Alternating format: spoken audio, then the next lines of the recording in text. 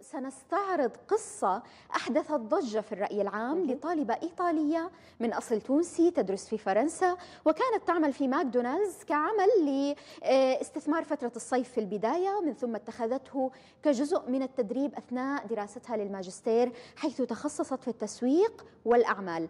ما حدث أنه في البداية تم قبولها في العمل وهي محجبة بالمناسبة لكن بدأت المضايقات تتصاعد شيئا فشيئا إلى أن تم فصلها بحجة أنها رفضت رفع كم ملابسها. تخيلوا أن الكم يكون مشكلة لفصل طالبة من العمل. طبعا الطالبة هاجر بركوس تنضم إلينا الآن لتحدثنا عن قصتها. نرحب بها عبر السكايب. أهلا وسهلا فيك يا هاجر. مرحبا بكم وشكرا على الدعوة. أهلا. هاجر بداية. خلينا نرجعك للبدايات مقابلتك مع مدير ماكدونالدز وتخبرينا كيف كان اللقاء كيف جرى وكيف كان فكرته أو نظرته حول ارتدائك للحجاب في العمل. طبعا اولا علي أن أوضح أن أول مقابلة لي كانت مع مسؤولي أو مديري في العمل الذي كان فرنسي والذي استقبلني بكل حفاوة وبكل احترام وتقبلني كما كنت. فعندما قمت بمقابلة العمل لأول مرة خاطبني بكل صدق وقال لي أنه لا مشكلة له مع الحجاب. بل وأخبرني أن أن خطيبته كانت مسلمة. ففرحت جدا وفرحت خاصة لرحابة صدره ولتسامحه لأن من المعروف أنه في فرنسا ليس من السهل أن نجد يعني عملا بهذه السهولة وبأن يخبرنا مديرنا في العمل أنه ليست له أي أي أي مشكلة مع الحجاب. نعم. فكانت هذه أول مقابلة لي. نعم، فيما بعد هاجر أنت تقدمت في فترة الماجستير بطلب لإدارة ماكدونالدز وقبلوك كموجود يعني كشخص مسؤول في قسم الإدارة لمدة سنتين. حدثينا ما الذي حدث فيما بعد؟ آه بالضبط. في في الأثناء غادر مديري الذي كنت أتحدث عنه منذ منذ لحظات وقدمت إدارة جديدة يعني مسؤول مسؤولون جدد. آه ومن ثم تغير عقد عملي لأصبح مسؤولة في الإدارة مسؤولة عن ال ال آه الإدارة. هذا هو ومانجر يعني مسؤولة فريق. فأصبحت مسؤولة ولم أعد شغيلة ككل الشغيلين الذين يأتون للعمل في ماكدونالدز كالذين نراهم كل يوم إذا ذهبنا إلى ماكدونالدز. ولكن هذا لم يتم احترامه لم يتم احترام بنود العقد الذي وقعناه. كانوا يعلمون جيدا أنني كنت محجبة لأنني يوم توقيع العقد أتذكر ذلك كان يوم 15 أكتوبر 2018 ذهبت لتوقيع العقد بملابسي هذه بالحجاب ولم يقولوا شيء ولكن يعني تتالت الأيام آه لم يتم احترام هذا العقد مثل ما قلت لكم. عندما طلبت ذلك عندما لاحظت يعني قمت بتوجيه ملاحظات آه للمسؤولين الجدد. قالوا لي آه قوم بعملك الآن. بالنسبة لهم كان عملي العادي والطبيعي هو هو تفريق يعني الوجبات هو تقديم الوجبات للزبائن فهذا ما حدث. آه ولكن عندما تكررت ملاحظاتي تكررت طلباتي آه قاموا ب قالوا لي ولكن لماذا أنت تغطين شعرك؟ آه تحت القبعة ولماذا تلبسين الكم الطويل؟ فكانت كل المشكلة هي الكم الطويل وكانت كل المشكلة رفع ذلك الكم الطويل. نعم. طيب دعيني أقف هنا. يعني هاجر وتحدثينا فعليا عن طبيعة هذه المضايقات ماذا حصل إن كان رفع الكم أو حتى عن الحجاب؟ دعينا نتعرف على ذلك بتفصيل أكثر. آه كانت هناك زيارة آه لمسؤولين كبار من شركة ماكدونالد نعم. آه كان هناك لأنني أسكن في نيس ف نعم. يوم يوم يوم هذه الزيارة أخبرونا أن هناك مسؤولين من باريس يعني مسؤولين آه، من مستوى رفيع آه، في إدارة ماكدونالدز آه، قادمون لزيارتنا وللتثبت من أن كل شيء يسير على ما يرام في ماكدونالدز فأتت أتت مجموعة كبيرة من من المسؤولين وعندما رأتني مسؤولة هناك أتت لي مباشرة وسألتني لماذا تغطين شعرك تحت القبعة قلت لها أنني مريضة لم أجد إجابة آه، يعني كنت تحت الضغط فتلك نعم. هي الإجابة التي وجدتها وجدتها حينها. قلت لها أنني مريضة فقالت لي ما, ما هو مرضك؟ مرضك آه علما وأن لا يحق لأي مشغل في العالم أن يسأل آه شغله ما هو مرضك. فهذا آه يعني خرق واضح للقانون. بعد ذلك قالت لي لماذا تلبسين الكم الطويل؟ قلت لها أنني أشعر بالبرد. كنت أظن أن آه، تلك الزيارة ستمر وكانت وأنها كانت زيارة عابرة ولكن أتت آه، نفس المسؤولة يوم غد ويوم بعد غد وفهمت بعد ذلك أنها ستبقى آه، معنا وكانت كل يوم تطلب مني نزع الكم وتخاطبني آه، بشدة وتخاطبني يعني بطريقة سيئة جدا. فكنت لما أطلب منها أن أن أن تخاطبني بلطف. يعني باحترام كانت تقول لي أنا هنا في بلدي أنا من من من من الجنوب الفرنسي. فكانت يعني بالنسبة لأن بالنسبة لها أن من يسكنون أو السكان الأصليين من الجنوب في الجنوب الفرنسي يتحدثون بصوت عال تبرر لنفسها تلك الطريقة السيئة في المعاملة والكلام. نعم. طيب هاجر أنت ذكرتي في البداية أنه المدير الأول كان يتعامل بلطف وتقبل حجابك لكن المسؤول الآخر وأيضا باقي الأفراد بمجرد أن ذهب ذاك المدير تغيرت معاملتهم.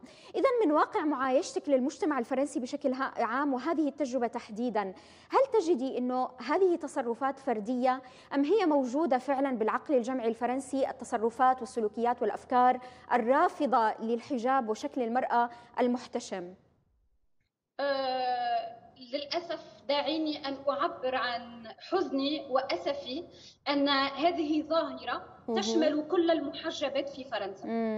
يعني المحجبة ليس لها الحق في أن تعمل بحجابها في فرنسا سواء في يعني هذا النظري بالنسبة للنظري في فرنسا آه، ليس لنا الحق أن نعمل بحجابنا في المؤسسات الحكومية نعم. عندما نأتي للمؤسسات الخاصة آه، النظري ما هو نظري آه، كل كل كلهم يقولون هذا طبيعي ولديك الحق أن تعملي بحجابك ونحن نتقبل الآخر ونحن نتقبلك نتقبلك مثل ما أنت آه، ونحن مع احترام الحريات الفردية ولكن كله نظري.